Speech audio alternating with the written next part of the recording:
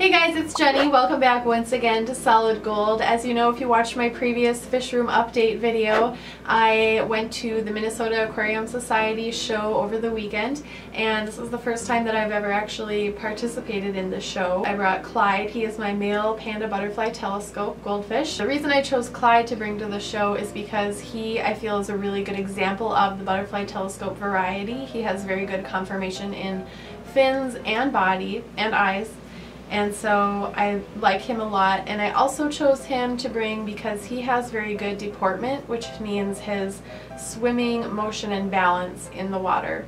And that's usually a big concern for goldfish because they have such a modified body shape and fin shape that it's kind of hard to find that balance sometimes. And I think that he strikes the balance really well. I was really nervous to be traveling with my fish because I've done it before and it always goes just fine but I don't know. I just always get really nervous because they're so precious to me. I was nervous but really he was just fine. He did perfectly fine in the car ride there and back and he did fine in the show tank too. He was actually super super cute in the show tank.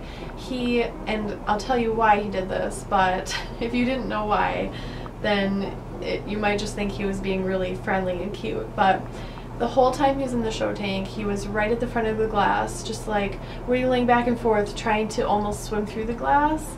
And it looked really cute and like he was really personable. Here's why he was actually doing it because he's used to being in a tub in my basement that has sides you can't see through. And so he doesn't know why he can't keep swimming because he can see through the glass but there's a barrier and he doesn't understand it and so he just kept trying to swim through the glass and it wasn't working. I also brought a drawing that I made and I made it just for the show and I didn't have a lot of time in the weeks leading up to the show or in the months really. I kept putting it off because I didn't have the time and then in the first in the week leading up to the show I was just thinking you know I really gotta get this done. And I ended up doing the whole drawing in just a few days right before the show. So it was kind of a crazy time crunch there. In addition to that I also brought a photography print um, of a photo that I took of my fish named Minai. So we got to the show on Friday night and everybody was there setting up their tanks. The fish room was just a beehive of activity, people running to and fro with buckets of water. Some people even had big carts where they were pushing several buckets of water at a time to fill up all their tanks.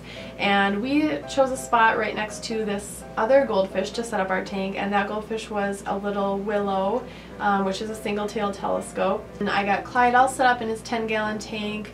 Um, his show tank consisted of a 10 gallon tank that was painted on the back and bottom and then just a simple glass top and a simple one tube light fixture on top. To filter in the water and aerate it I used a sponge filter and the show provided air which was really nice so all you had to do was plug in and your filter was good to go. So that was what setup was like and then we left and it was really weird leaving my fish there all by himself and without me watching him every second, but I had to leave him there and return the next day. Saturday when we got there, the fish room was once again packed, but this time it was with visitors. People visiting the show, checking out all the awesome fish that were there, and there were a lot of awesome fish, by the way. Tank after tank of really cool fish and really good examples of their species and or variety. There was even one tank, there were a few tanks actually that had the parent fish with their batch of fry right in the tank with them. And of course as you guys know that would never work with goldfish because the goldfish would start just eating all the babies one by one until they're all gone. So don't try that with goldfish. But it was really cool to see with these other species of fish that actually do take care of their young. We hung out in the fish room on Saturday and checked out all the really awesome fish, talked to some cool fish people that we got to meet, and I also signed up to be a member of the Minnesota Aquarium Society. So in addition to the shows, maybe I can start going to the meetings as well. They're kind of a long drive for me, but it might might be worth going to because I had a really good time actually interacting in person with the fish keeping community, which is something that I haven't really done in the past. So I think it would be a good thing for me to continue because I really enjoyed it. And then on Saturday night they had the awards ceremony and before the awards ceremony we walked in and everybody was playing bingo and then as we walked in somebody said, oh here's another couple of people to, to play the bingo with us and they handed us some bingo cards and then the first round we played I actually won. I thought I was going to pick one prize from this pile of prizes that were on the table. So I said, oh, what do I get? And the guy just handed me a box and said, all of it. So I was sitting there just like scooping everything into the box. A lot of it is stuff that's not really geared towards goldfish, but I know some of you guys who, who watch my videos have other types of fish too. So I thought I'd kind of pay it forward and I'm going to be giving away those things that I got in the bingo game for you guys. So stay tuned on my Facebook page because I think they'll just be small here and there giveaways that I'll do on Facebook. And then the award ceremony finally started on Saturday night. When they got to the goldfish and koi category, the uh, results were there was an orange lionhead that won third place and then a koi that won first place and then my very own Clyde won second place. Also when they got to the end of the award ceremony they announced the winners for the art category and I didn't even know they were going to be judging this category so I was surprised about that and then my clover drawing won first place in that category so I was surprised again by that. I got a plaque for the for both of those things as my award and here it is.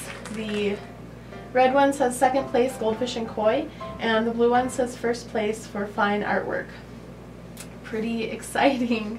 This is um, my first fish show that I participated in and I won something so I was really excited about that. Definitely going to hang this up probably in my fish room downstairs once I get it all set up the way I want and find a good wall to hang stuff up on. But there is more also. So they had a couple of categories for People's Choice and that means anybody who visited the show could vote on their favorite fish and also on their favorite tank because there were some aquascape tanks in the show also. They announced the winners for that and Clyde actually won People's Choice Fish Award and I got a plaque for that. Can you believe it? So it says People's Choice Favorite Fish and that is all Clyde right there. I think that it's due in part to his cute, the cute way that he was swimming against the glass and everybody probably thought he was really silly and cute. So isn't that awesome guys? I'm really excited that the first show I went to I actually won something at. But now all the excitement is over and we are back home, back to business as usual and I actually set Clyde up,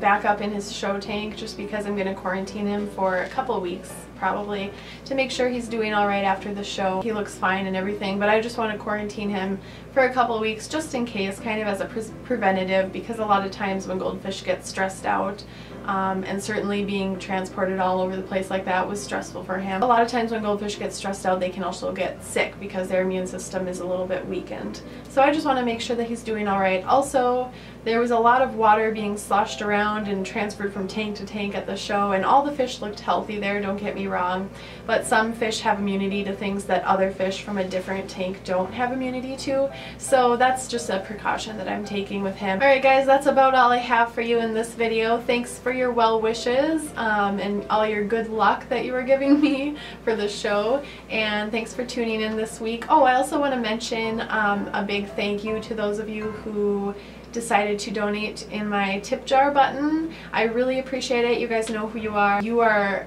helping to make solid gold possible because without all of you helping me out and supporting me in that way I wouldn't be able to keep doing this. Just to give a little explanation of the tip jar, it's something that I decided to do because I would really love to keep expanding this solid gold thing that I'm doing, providing more content for you guys to watch for free and in order to do that, I just need to have a little bit more monetary support. This is like a full-time job for me, it really is. So I just made the tip jar button in case some of you want to maybe put a couple dollars in each time I make a video or something like that to help support me so that I can keep doing this. If you want to, awesome, and thank you so much, and if you don't want to, that's still awesome, and I'm going to keep making videos for you anyway. So thanks so much for tuning in this week, guys. I will see you in my next video, and until then, stay golden. A cute little willow butter, uh,